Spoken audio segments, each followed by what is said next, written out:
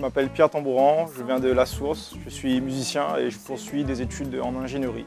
Alors la passion pour la musique, ça me vient de mon père, il était guitariste et ça m'a plongé directement dans le milieu.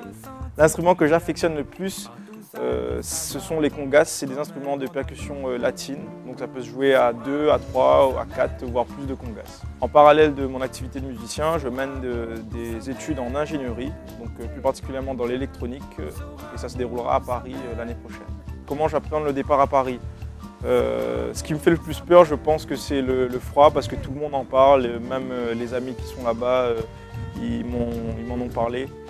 Euh, mais sinon, euh, c'est le manque de la famille. Je pense que ça, ça va être très difficile.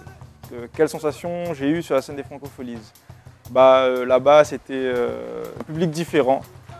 le public était très réactif. Ma motivation générale pour tout ça, c'est en fait venu de mes parents. je voyais qu'ils se démenaient tout le temps pour pouvoir me permettre de faire mes activités.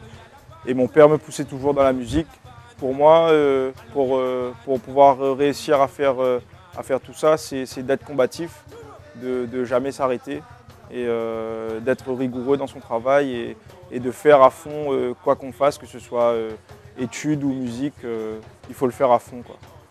Alors je souhaite dire au revoir à toutes les personnes que j'ai pu rencontrer à La Réunion, à La Source, les musiciens, les euh, collègues de travail, euh, euh, les, potes, tous ceux avec qui j'ai pu passer une soirée ensemble, musicale ou pas.